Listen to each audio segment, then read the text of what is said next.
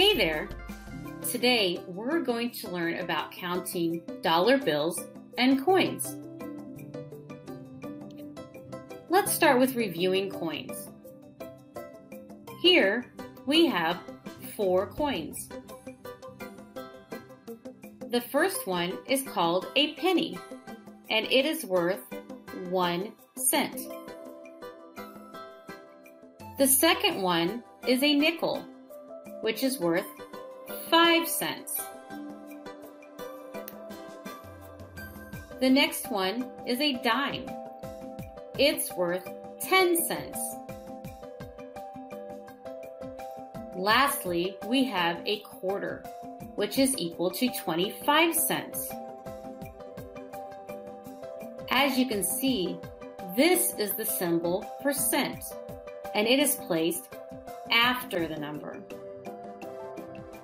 If we have 100 cents, that's equal to $1.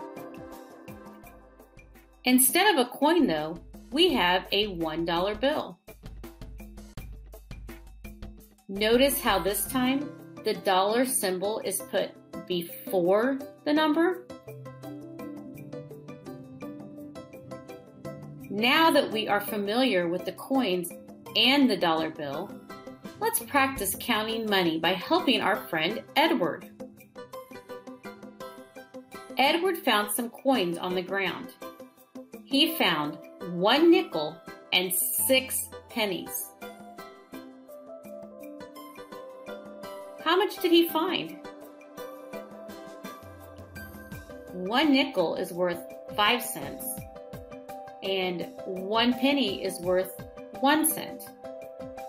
So if he found one nickel and six pennies, it's worth five cents plus one cent plus one cent plus one cent plus one cent plus one cent plus one cent, which is equal to 11 cents. However, before he found these coins, Edward already had five dollar bills and three quarters. So, how much money does he have now? One dollar bill is equal to one dollar. This means five dollar bills is worth five dollars. And since one quarter equals 25 cents, three quarters means adding 25 cents plus 25 cents plus 25 cents.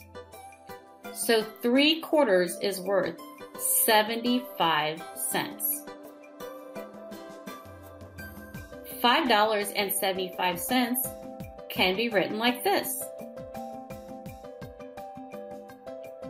Remember that Edward found 11 cents? Let's add that to the money he already had. Since we're adding 11 cents, we can add it to the cents and just bring back the $5 later. Let's write them again in a column and add the ones. 5 plus 1 equals 6. Adding the tens, we'll have 7 plus 1 equals 8. So altogether, Edward has $5.86.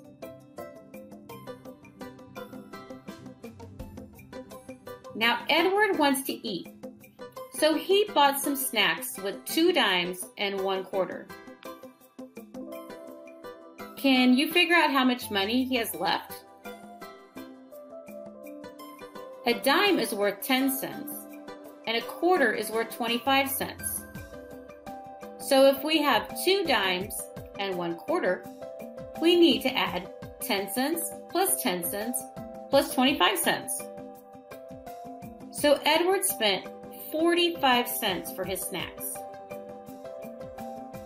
Let's subtract that from the $5.86 he has.